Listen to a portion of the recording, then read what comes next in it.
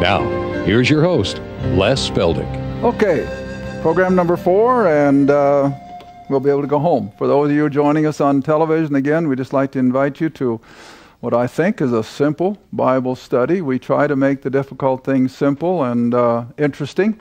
And again, we just like to thank you for your support, prayers, and your financial, and again, your mail. We read every letter. And uh, the other night, it took us till midnight almost, didn't it, honey? Boy, we had a bunch the other day. So, anyway, we just want you to uh, search the scriptures, study them, and uh, be prepared to answer questions that are thrown your way, because after all, that's what we're here for. We're ambassadors, we are to share our position in Christ. All right, we're in book 77, and uh, you multiply that times 12, and that's the number of programs that we've produced, and that makes a few. All right, we're going to go back and pick up the remnant of Israel that's going to flee to the mountains as we saw Jesus warn them in Matthew 24 in our last program. And uh, it's going to be a, a mixed group of people. And I'm emphasizing that because a lot of people confuse this escaping remnant with 144,000, which is also a remnant. Well, hopefully, in this half hour, we'll separate those two entities, that they are not the same. This remnant that Jesus talks about in 24 and what Revelation 11 and 12 are talking about are a cross section of Israeli society. Because after all, the whole idea of this remnant is, is to be there and ready to go into the kingdom. And you want to remember that Israel is going to be the largest nation in the kingdom because of their largest number of entrants. And so here we're going to have, as we saw earlier this afternoon, one third of Israel's population, which would be around 5 million if it's in the near future. And that'll be far more than from any other single nation on earth, although there will be a scattering from every nation. But this remnant of Israel, which will be one third of the total, or around five million, are going to be supernaturally protected by God out in some sort of a wilderness situation where all the horrors of the tribulation will not touch them. But I feel that they go out in unbelief and then they will become a saved nation when they see Christ returning. And when they see him coming in all of his power and glory, every last Jew in this remnant will become a believer. And uh, we will hopefully have time to show that before the afternoon is over. All right, so if you'll come back in with me to Revelation again, chapter 11, we'll repeat. Verse 13, the last part of the verse. And the remnant were affrighted because of all that's happened, as well as the earthquake. And the remnant were affrighted, and they gave glory to the God of heaven. And I feel that will be as they are supernaturally then escorted out of the city, never forgetting what Jesus said in Matthew 24 that you've got the people living on the housetop, which I feel are the retired, the wealthy, who are pretty well set. Don't take anything on your house, just get going. You've got the working class, and you've got the young mothers and the children and so forth. A complete cross section in this remnant of the one third that we saw back in Jeremiah and Zechariah. All right, now then, let's pick them up across the page in my Bible anyway. Revelation chapter 12. Verse 6. now remember, the woman is now going to be considered the whole. Even as Paul spoke of the remnant in Romans chapter 11, and uh, they become then the whole, even though they are only a third. So the woman, this one third, I feel, that are escaping from the area of Jerusalem, fled into the wilderness, where she hath a place prepared of God a supernatural thing. And that they, the Godhead, should feed her there out in this wilderness situation for a thousand two hundred and three score days, three and a half years. So from the midpoint now to the end. Now, keep my beginnings and endings straight. The Antichrist opens the seven years back there in uh, Revelation 6, verse 1. Three and a half years took us to the midpoint when the two witnesses appeared, and the Antichrist went into the temple and defiled it. All in the end of the first three and a half years. All right, now at the beginning of this second half, we have this escaping remnant, and they are going to be protected for another 1260 years, which takes you to the end. And when they get to the end and Christ returns, then of course they'll be ready to go in and enjoy a refurbished, regenerated, reconstituted, those are all the words the scripture uses, which prepares the earth then like a Garden of Eden for this thousand year kingdom reign. All right. So God prepares a place, and they're going to be fed there for a thousand two hundred and sixty days, or three and a half years. All right, now the interesting part of their flight is to verse 13. Still in chapter 12. Verse 13, and when the dragon, that's another name for Satan, and remember he is working hand in glove with the man Antichrist. so when the dragon saw that he was cast unto the earth out of heaven for the last time, he persecuted the woman, this remnant of Israel, which brought forth the man child.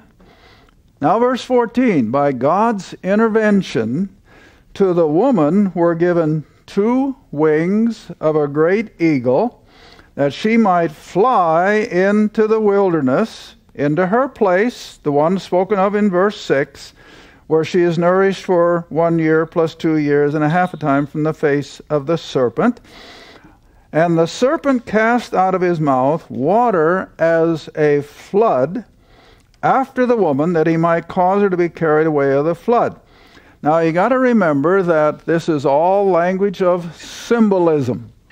And what we have to put to this is a reality.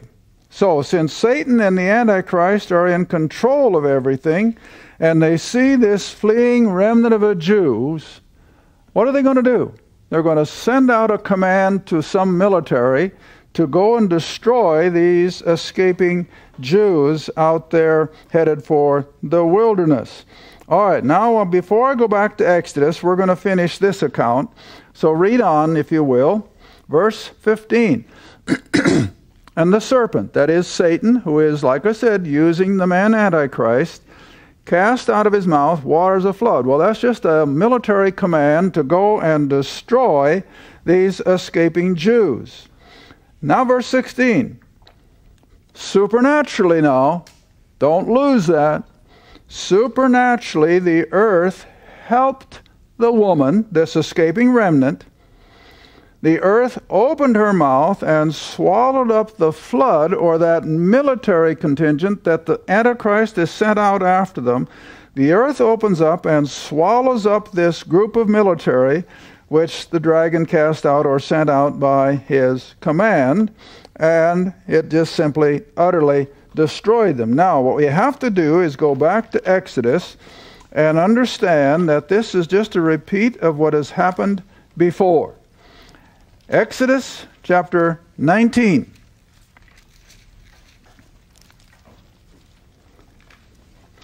And this, of course, is after Israel has gone through the Red Sea, and the Red Sea closed over the Egyptian military and destroyed every one of them without a loss of a single Jew. And so now they're safely encamped around Mount Sinai, and God goes up into the mountain to meet with God. Verse 3 And as you read, compare this constantly with Revelation.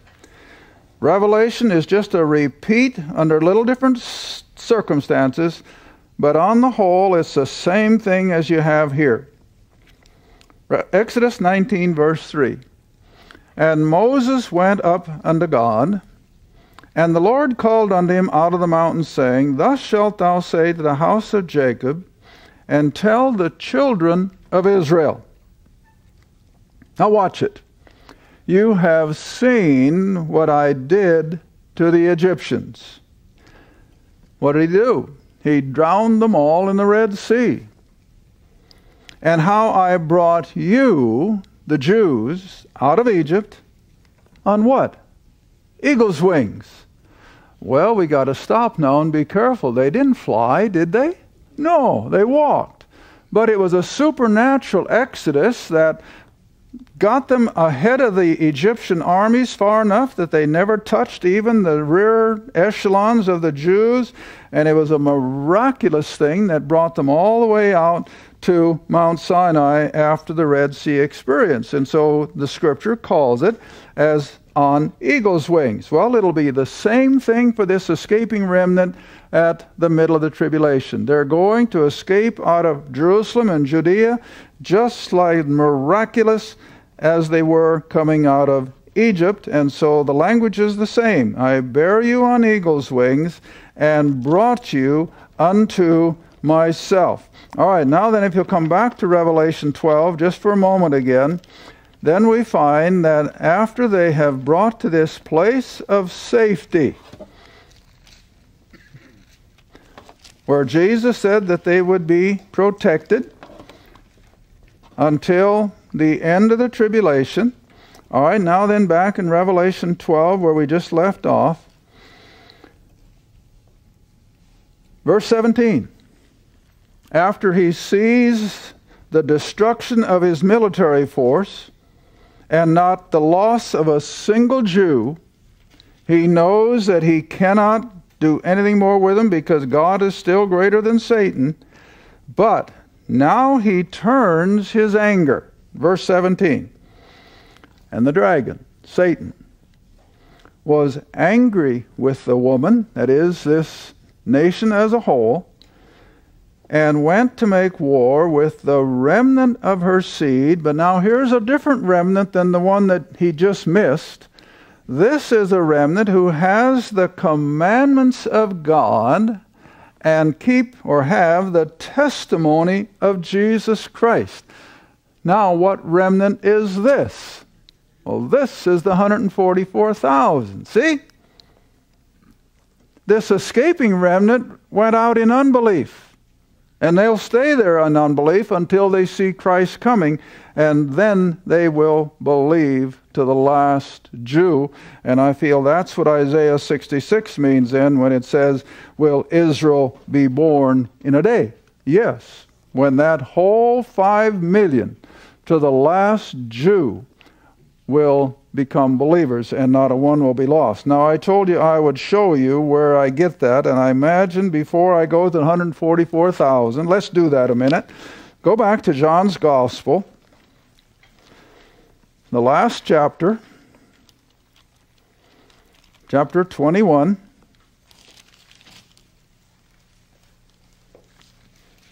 And drop in at verse 4.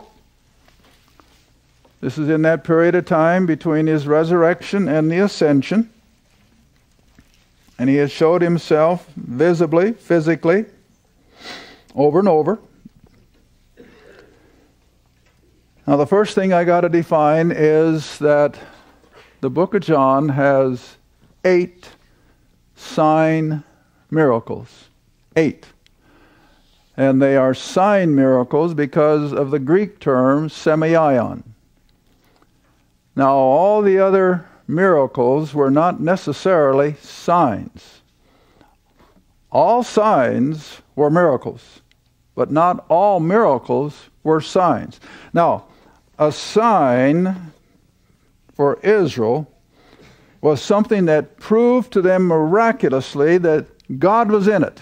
This wasn't thing that would happen on the ordinary everyday life. And it was a sign. So it was miraculous. All right, now in the book of John, we have eight of those miracles, and they were all signs.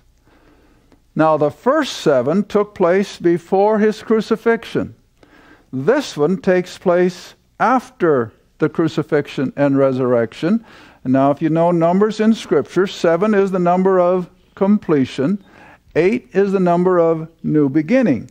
All right, so here we have, I feel then, an indication of the new beginnings of the kingdom in which not a single Jew will be lost. All right, let's look at it. Verse 5 of John, uh, John 21. Then Jesus said unto them, Children, have you any food or meat? Have you caught any fish? And they answered him, No.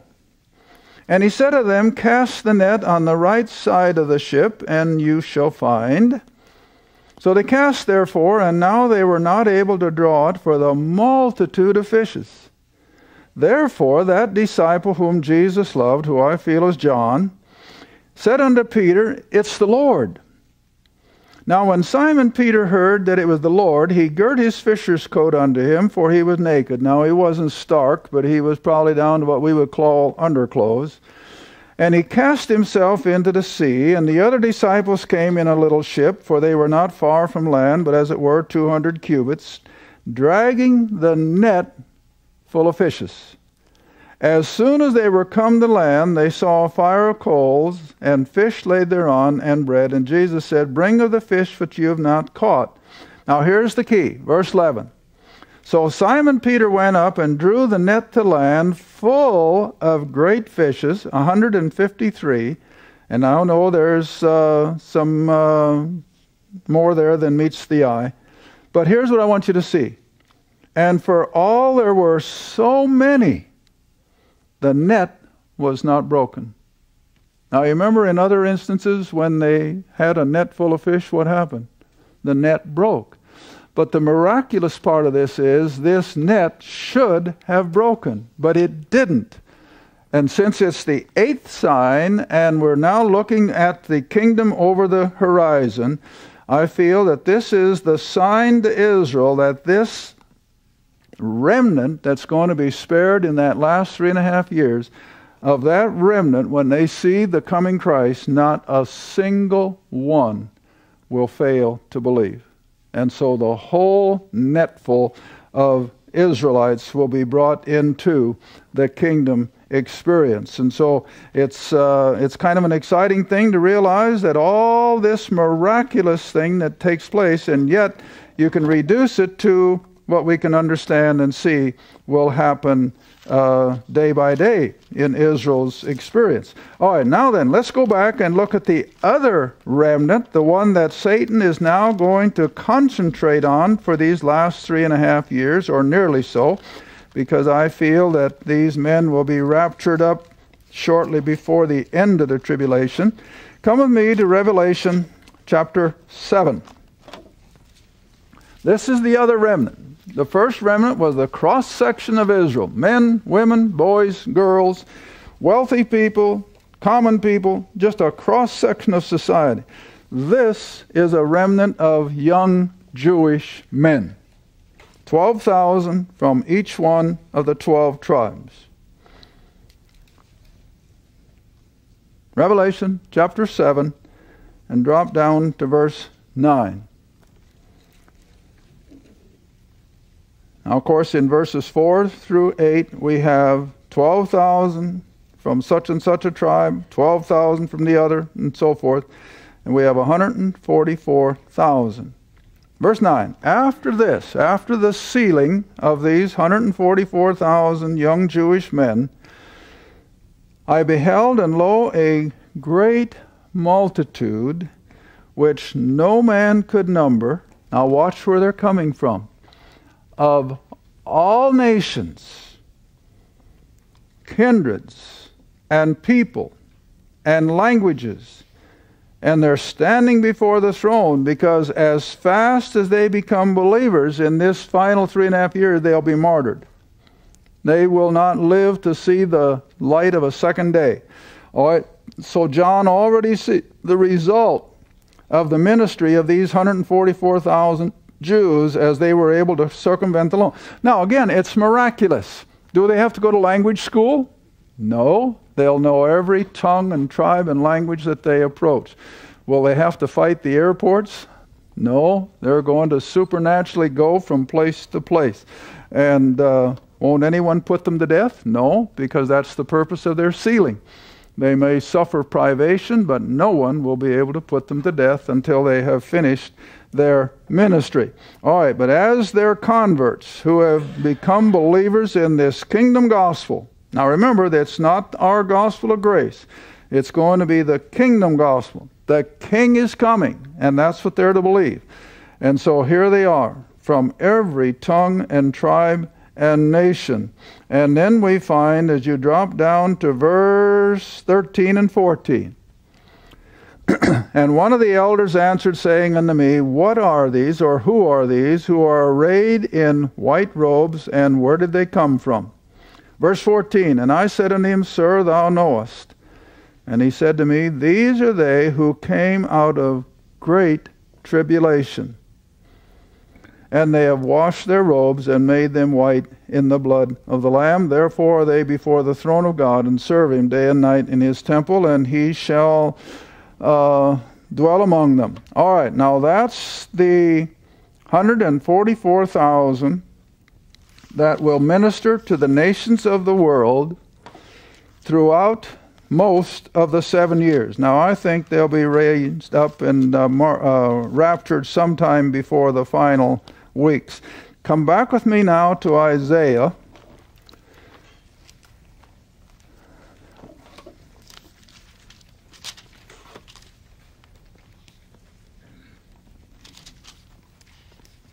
Twenty-four. Thought for a minute I had the wrong one. Isaiah 24. Now we're at the final end of the seven years. Everything has been destroyed. There's nothing left except a few survivors. I think I've got time. Let's read all the way from verse 1. Isaiah chapter 24, verse 1 Behold, the Lord maketh the earth empty. Now, this is as the result of the seven years of the horrors of the tribulation. I think the final month is going to be a nuclear holocaust like none of us can imagine. And it will make the earth waste and turn it upside down and scatter abroad the inhabitants thereof. It shall be as with the people, the priest, the servant, the master, right on down the line, the whole cross section of society. Verse 3 the land shall be utterly emptied. There will be nothing left. You know, I always have to stop and ask people. Now, you know, the kingdom, the thousand years, is going to be heaven on earth. Now, think about that. Heaven on this earth. Gambling casinos in heaven? Why, heavens, no. What's going to happen? They're going and all the other garbage that's associated with the world's society. Would that fit in heaven? No. So common sense tells you God's going to have to cleanse the planet of all of it. See? Everything that man has contrived is going to have to go, and God's going to make it all new. See? And so that's why these languages are what they are. The, letter, the land shall be utterly emptied. Now, I envision it. Now, this is strictly my own idea. I can't prove this from Scripture. I can come close, but I can't really prove it. I see everything reduced to ashes like Hiroshima and Nagasaki were in 1945. Everything. And then God will miraculously bring it all back to the beauty of Mount St. Helens. Now, that's another one. I think God sent Mount St. Helens just to show us what He can do. How long did it take until Mount St. Helens was almost more beautiful than it was before? A year or two? Under ordinary circumstances. Look what God can do in the realm of the supernatural. So the planet will be regenerated, reconstituted. Now, these are scriptural words. In just a moment of time, but I think it's going to be totally reduced to ashes with all the nuclear bombs that are being storehoused today. All right, but whatever. Back to our text. Verse 5 The earth also defiled on the inhabitants thereof because they have transgressed the laws, they've changed the ordinance, they've broken the everlasting covenant. In other words, they've flown in the face of God in everything they think, say, and do. Therefore, verse 6 Therefore hath the curse devoured the earth, and they that dwell therein are desolate. Therefore the inhabitants of the earth are burned. My, if that isn't nuclear language, I don't know what is. But, what are the last three or four words? A few men are left. Well, what is that? All around the planet, here and there, there are going to be survivors A few from every nation, I think, as we understand nations. Because by the time we get to the end of the millennium, after a thousand years, a tremendous population explosion, one nation? No. All the nations of the world are back in vogue. Well, where'd they come from? These survivors. These survivors. All right. But it stands to reason.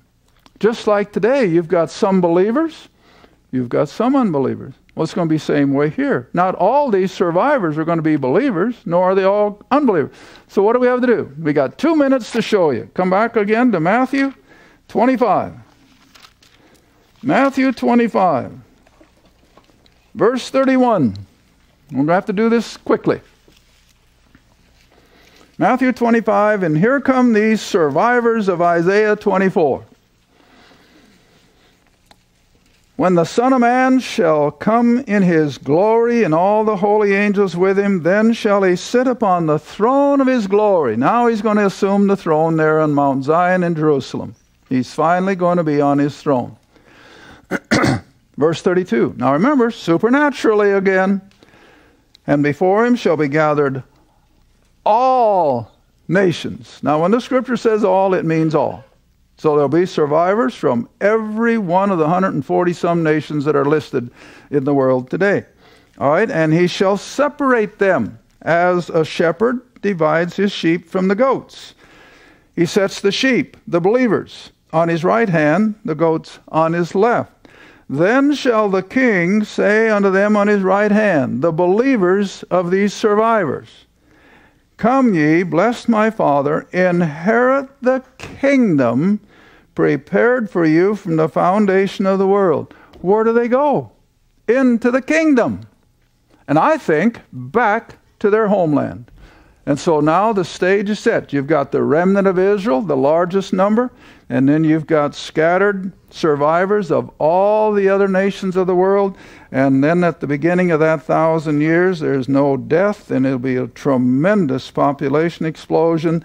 And if I had time, I could take you back to Revelation. Nay, no, I can't do it. Only got seconds. But you get into Revelation, and when Satan is released, how many nations are represented? All of them.